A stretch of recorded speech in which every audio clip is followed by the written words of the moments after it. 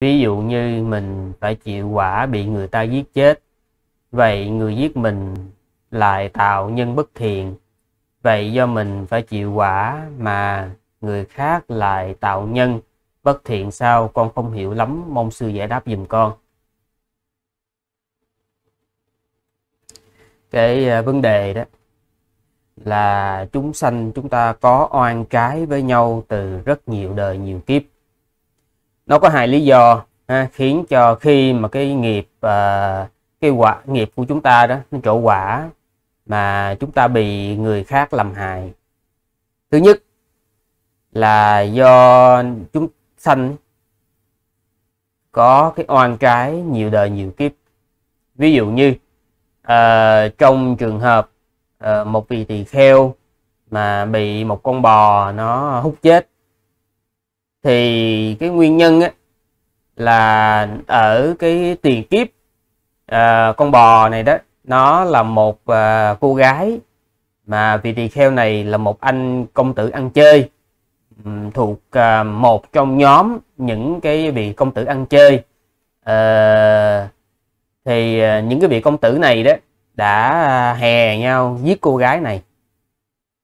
Thì khi quả trổ thì cô gái này lúc bây giờ đó uh, tái sanh là một con dạ xoa thì con dạ xoa đó nó biến hiện ra nhiều cái uh, điều kiện khác nhau. Ví dụ như uh, làm con bò để mà hút chết uh, cái cái người năm xưa đã hại mình. Nhưng mà bây giờ cái anh công tử năm xưa đó là trở thành một vị tỳ kheo. Đây. Uh, những trường hợp như vậy có rất là nhiều ha cho nên uh, chúng sanh có oan trái với nhau nhiều đời nhiều kiếp thì bây giờ nhân duyên gặp nhau thì uh, để uh, trả mình gọi là trả cái nợ máu năm xưa. Hoặc như trường hợp uh,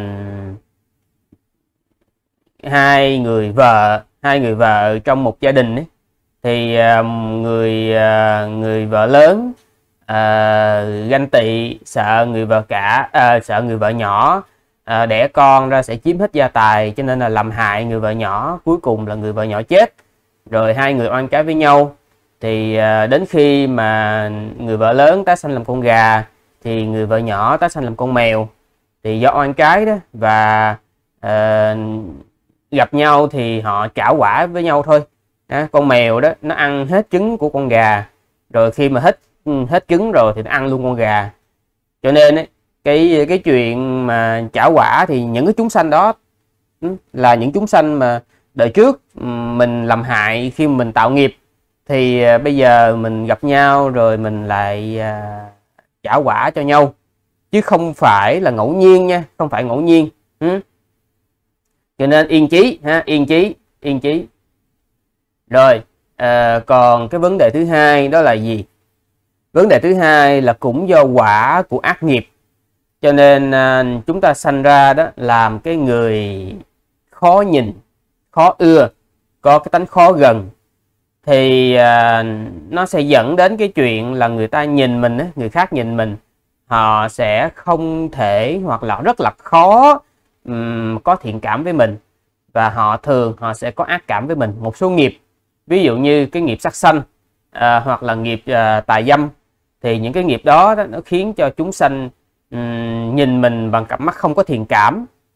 Đó là do mình thôi. Ví dụ như quý vị đi ra đường gặp một người xấu thiệt là xấu ha mắt xếp ha, mắt xếp mũi to à, rồi à, nói chung là nhìn là cái chữ là bất thiện nó hiện rõ ở trên mặt của họ. À, người ta gọi là đầu trộm đuôi cướp á, thì mình nhìn họ mặc dù họ chưa làm gì mình hết nhưng mà mình không thể nào mình không có cái sự đề phòng.